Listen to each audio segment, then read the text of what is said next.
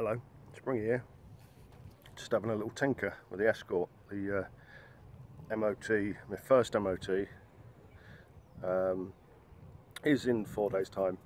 So I thought I'd put the cam belt cover back on just in case that's uh, naughty for the MOT and I've been thinking about putting it back to original with the air filter I put the, the single uh, single choke Weber carb on it because the VV Ford carb was dead.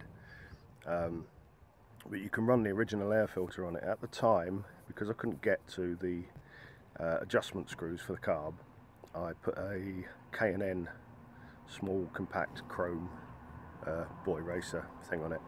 And had to reroute the vacuum pipes and I took off the heat exchange uh, cowling goes on the manifold that puts hot air into the air filter on startup. Um, she's running absolutely beautiful. Um, so it's just been niggling me that I wanted to make it look um, everything else in the car is stock and I wanted to put the original filter back on.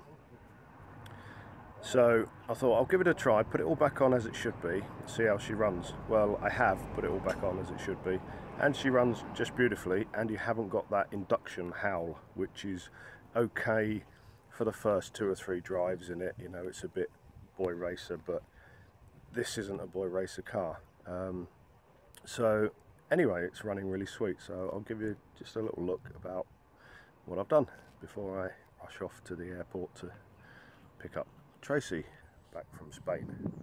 So see in a bit okay well this is what I've done.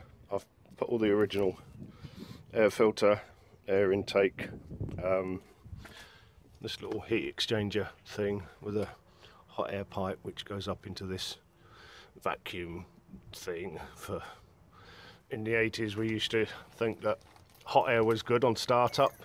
Um, obviously now we've discovered through the advances in Formula One that cold air is better. But having said that put it all back to original um, rerouted all the vacuum pipes that go up to the air filter and off to bits and pieces um, I will, now that it's running fine, I will actually shorten all this and tidy it up.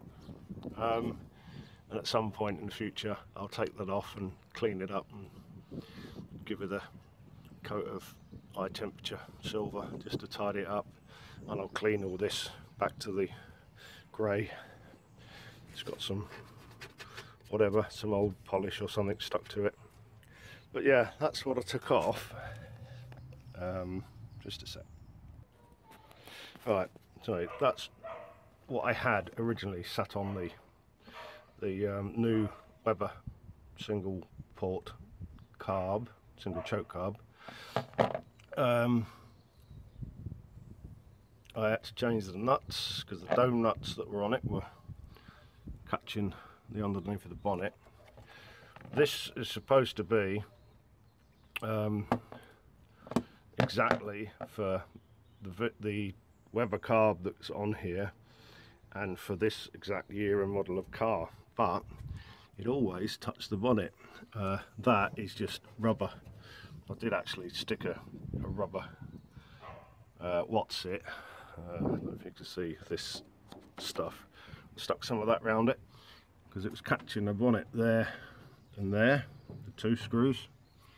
Oh sorry the back the back. Anyway catching the bonnet. So I wasn't very happy about that even though this is supposed to be an exact fitment. And on the the breather which normally breathes back into the air filter obviously that was hanging loose so I stuck a, a breather on it the type that I said I hated that I took off my bike because they're not stock so I'll just Second time I've smacked my head on that corner this morning. So anyway, that was a lot of waffle. Um, back to stock and running fine. I thought it might have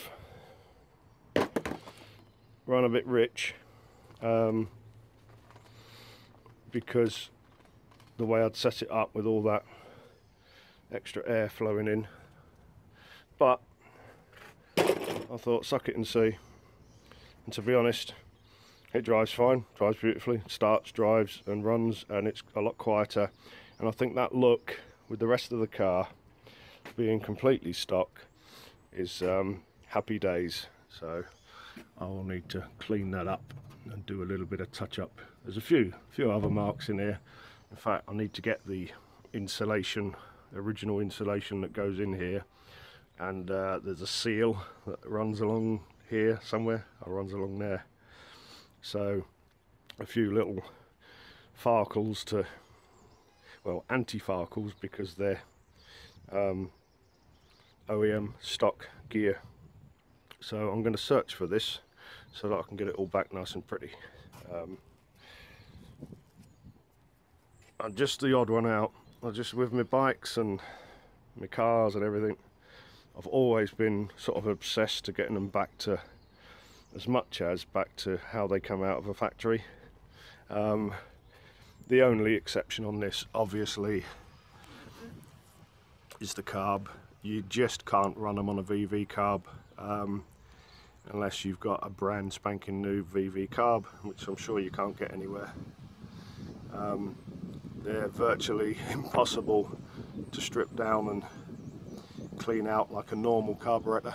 Um, but this single choke Weber um, was actually fitted to some of the Mark III, later Mark IIIs um, as a standard item. So depending on what year and uh, what engine you had, this this is or this is Weber's replica of what they would have done.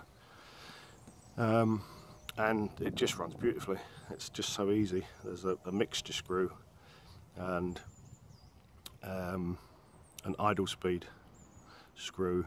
I've got this one as a manual choke. I could have got the automatic choke version, so which runs off the two water pipes I've got bypassed. But um, I'm not a great fan of automatic chokes, um, so that's uh, another exception to the rule. But uh, I like the control of the manual choke. Anyway, that's far too much waffle. Just thought I'd uh, give a little update. I'll let you know how the first MOT that I've had done on it goes. Uh, it was MOT the day before I bought it from the, the dealer I got it from.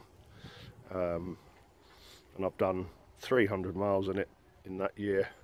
And obviously you've seen how I've been through it and replaced everything.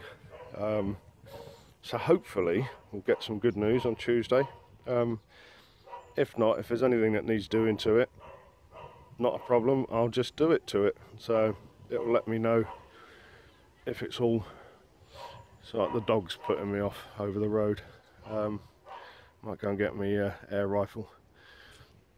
Joke, of course. Right, anyway, thanks for watching. I'll see you soon and I'll let you know how the MOT goes and if we have to do any other bits and pieces. So, I've been Springy, thanks for watching. See you later, take care.